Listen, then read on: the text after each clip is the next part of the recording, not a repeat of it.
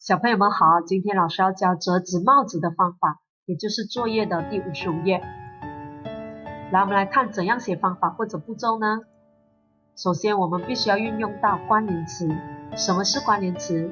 关联词就是把两个或者两个在意义上有密切联系的句子连接起来的词语，也就是关联词。那么有哪些呢？有首先、接着、然后、现在、再次、最后。让，我们来看一下怎样回答第五十五页的练习。看图说出折纸帽子的方法，然后写一写。用首先、接着、然后、现在、再次、最后，就能把折纸帽子的方法写清楚了。首先，我们必须把它运用在第一个图片，也就是第一个步骤。最后呢，我们就用在第五个图片，也就是最后一个步骤。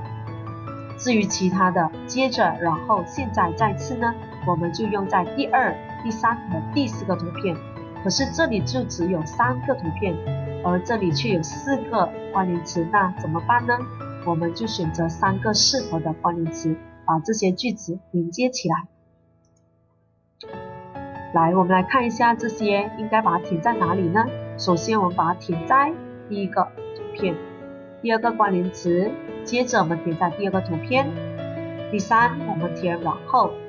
第四，现在，第五，我们填最后，而第六个图片不用任何的关联词，原因是因为一顶可爱的帽子已经完成了，OK，那么就是代表它已经做好了，不需要用任何的关联词。看看怎样运用关联词来把这些句子连接在一起呢？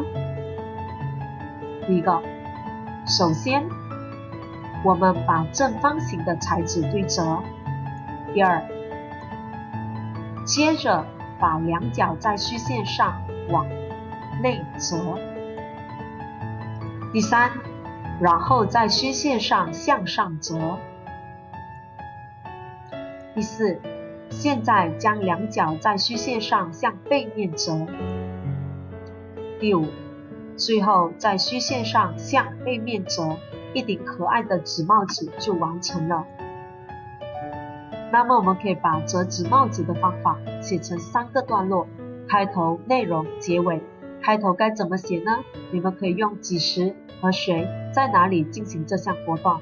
而内容呢，就是刚刚老师所教的。结尾呢，你可以写出你的感想。成功后折纸帽子，你的心情如何？老师这里有提供一个范文，你们可以看一看。今天黄老师在课室里教我们折纸帽子。首先，我们把正方形的材质对折，接着把两角在虚线上往内折，然后在虚线上向上折。现在将两角在线上向背面折，最后在线上向背面折，一顶可爱的纸帽子就完成了。最后一段。我非常开心，因为我学会了折纸帽子了。小朋友，你们都学会了吗？如果学会了，就翻开作业第五十五页，完成这页的练习。